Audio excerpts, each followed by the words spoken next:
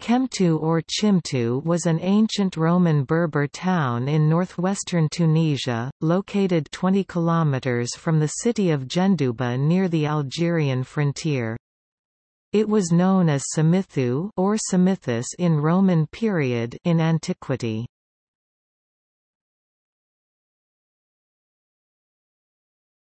Topic: History Chemtou was founded in the 4th to 5th century BC as a colony of the Berber Kingdom of Numidia. It later became a Roman town in the province of Africa. The city was important enough to become a bishopric, before its eventual abandonment around 9th to 10th century.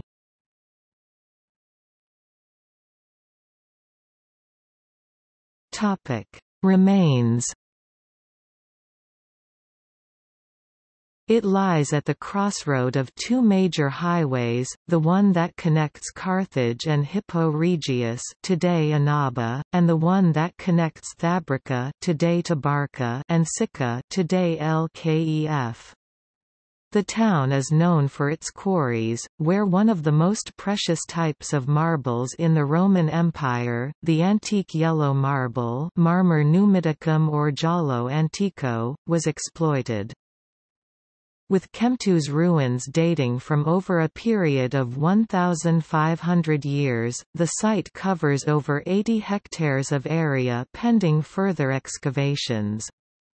After being partially excavated in the late 19th century, a series of excavations carried out since the late 1960s by a Tunisian-German archaeological team has uncovered new parts of the city, as well as the Roman road connecting it to Thabraca for the purpose of transporting marbles to the Mediterranean Sea. The excavated ruins are typical of Roman cities with temples, baths, an aqueduct, an amphitheatre, and housing for quarry workers whose number may exceed a thousand. The Chemtou Museum displays artifacts discovered in the area. The testimonies of the long history of the settlement of Chimtus have been partly preserved on the rocky ridges and on their southern, western and northern slopes. In Simitthus there were all the buildings that are to be found in Roman cities, an amphitheatre, a theatre theatre, a forum with forum basilica and fountain, a three-aisled market hall, a nymphaeum, at least three thermal baths.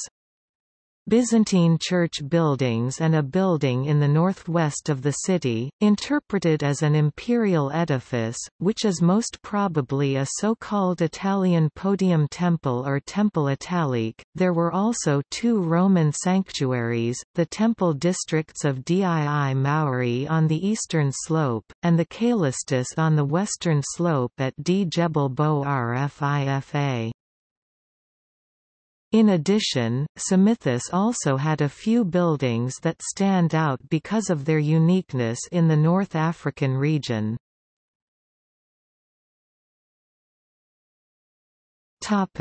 Mount Chimtou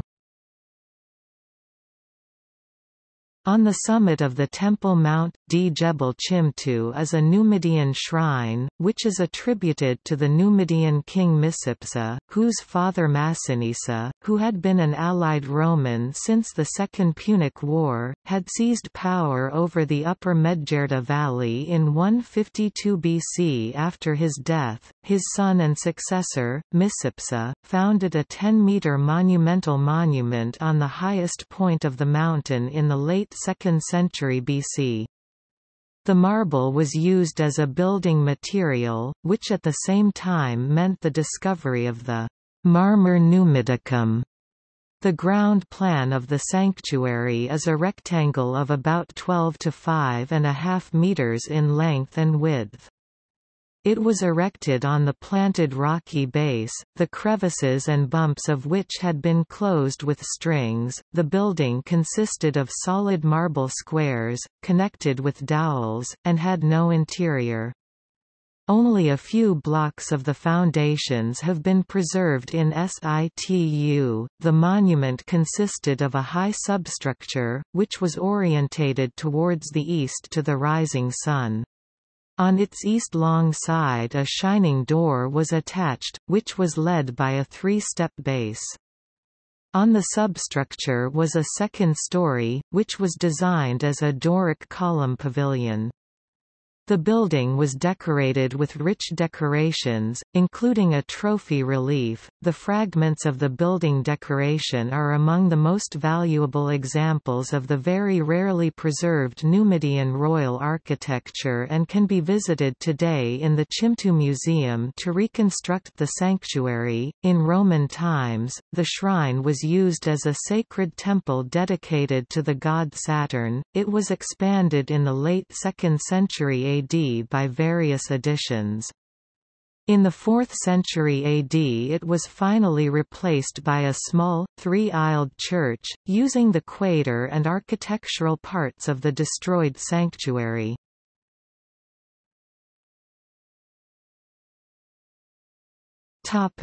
Rock reliefs At the end of the 1960s, the largest known series of Roman rock reliefs in North Africa was discovered at Tempelberg, altogether there are about 200 pieces. They are sculpted out of the rock in the southwest, west, and north of the Temple Mount, heavily weathered and visible only with oblique incident light. The reliefs usually form the same, the consecrated ones, an altar, a sacrificial animal, which, if recognizable, is always a ram, the devotee is often depicted on the sacrificial horse, with the attributes rhombus and wreath. Although no inscriptions were found, the typology points to the god Saturn. His consecrated reliefs form one of the greatest monuments in North Africa. The reliefs are arranged in groups and are, if possible, on natural rock banks. Often, there was a niche in front of it, where dedications could be given. In one case, shards of several vessels and a clay lamp were discovered.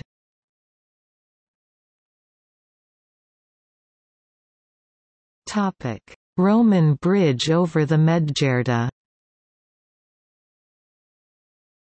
The Roman bridge over the Medjerda is considered to be the largest Roman bridge in North Africa and has an outstanding importance from an architectural and engineering perspective. It led the Roman road between Thuburnica and Sicca Veneria across the Medjerda near Simitthus, in the swampland of the highly meandering river. The difficult foundations and the recurring floods made the construction a risky undertaking. In the 1st century AD the first attempt was made to build bridges, but this first bridge did not extend beyond the century. In 112 AD, a new building was erected by Trajan, as can be found in an inscription now in the Chimtou Museum. The river was temporarily diverted to build the bridge. A 30-metre wide and 1.5-metre thick foundation slab made of wooden crates filled with a lime mortar stone mixture was placed on the river bed, their top was secured with a covering of stone blocks. This construction, however, was heavily stressed by the strongly changing water flow and was therefore strengthened later. However, the fortifications could not stop the plateau from being submerged, which eventually led to the collapse of the bridge in the 4th century. Since then the remains of the building form an impressive rubble field. The bridge had three arch openings, only one of which served as a water passage so that it was a dam at the same time. Only the southernmost bridge pillar still stands in its original position. The material used for the cuboids was green limestone from Bordj Hellel, grey marble, limestone from Ain el Ksir and yellow stone blocks of unknown origin.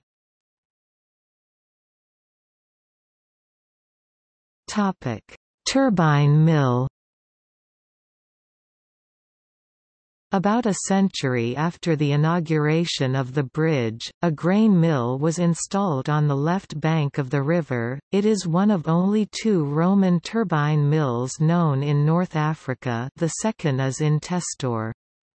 It was a rectangular parallelepipedal building in the protection of the high bridgehead. The wooden turbines had horizontally mounted paddle wheels, three millstones were attached directly to the turbine axles. The construction previously unknown from antiquity worked in a refined way, if the river level and the flow velocity in summer were too low to propel the mill wheels, the water was first stowed in a controllable mill's pond. Afterwards, it was passed into mills, which narrowed and accelerated like nozzles, so that the mill worked all year round. When the bridge collapsed in the first half of the 4th century AD, the mill's building was also destroyed and the mills pocketed, so that the facility was no longer functional.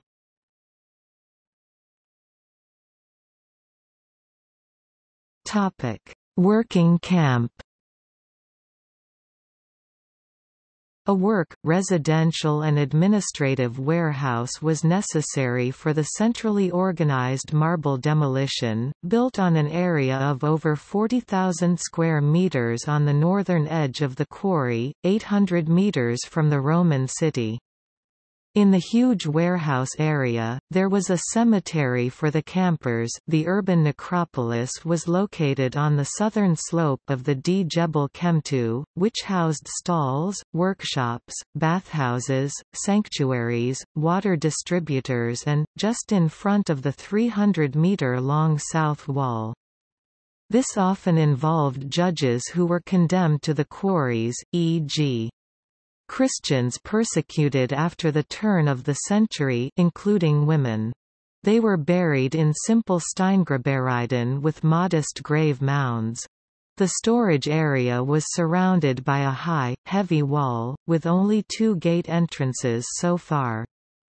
Although the work camp was so hermetically separated from the city, it took advantage of it. Chiefs of the quarries donated the town public buildings, but not of marble blocks, which were too expensive and destined for export. The largest building in the camp was a factory site or fabrica, more than 3,000 square meters, which was demarcated by the camp itself through heavy walls. It was divided into six elongated workshop axes, which could only be entered individually through six lockable gates and were not connected together. More than 5,000 stone objects of different kinds were found here, which testify to a regular mass production, besides plates and blocks of marble blanks, plates, pots, marquetry, mortars, pestles, relief plates and statuettes were produced here for everyday use as well as for export. Some of the ground shells had walls of only 2 mm in thickness.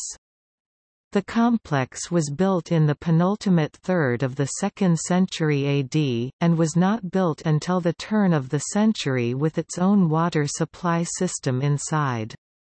Already around the middle of the 3rd century, however, an earthquake vault and flat roofs of the multi-nave system collapsed. Thereupon the Fabrica was only repaired in parts, and remained under obscure conditions until the end of the century. It is probable that the workers in this last phase were no longer living in the camp, as no new graves were being built at the camp cemetery. In the 4th century the warehouses were systematically plundered for building material and finally the camp was completely planned.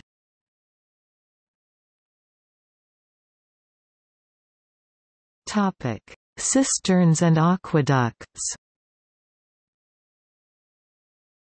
As in every Roman city, there was an urban aqueduct in Simitthus, from which public and private baths, drinking water fountains, and veitos were fed. In Simitthus, however, in contrast to other Roman cities, there was an increased demand for water, since not only the residential city had to be supplied with fresh spring water on a regular basis, but also the quarries, in the quarrying plant, in the working camp and in the fabrica it was used for sawing, grinding, forging of the tools and as drinking water for the workers. Therefore, Simitthus had an unusually complex aqueduct. The water was transported to the city over a distance of over 30 kilometers with bridges, piers and underground canals. There it was headed into a castellum divisorium, located almost 2 kilometers outside the city. This is a huge domed seven-aisled water storage and distribution system with large window openings for ventilation. Here more than 10,000 cubic meters of water could be stored and distributed as required. The aqueduct led to the north wall, and on the slope side in the east, adjustable lines led southwards to the city and the quarries.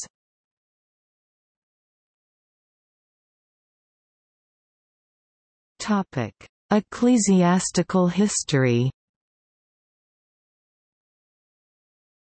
The bishopric was founded during the Roman Empire and survived through the Arian Vandal and Orthodox Byzantine empires, only ceasing to function with the Muslim conquest of the Maghreb.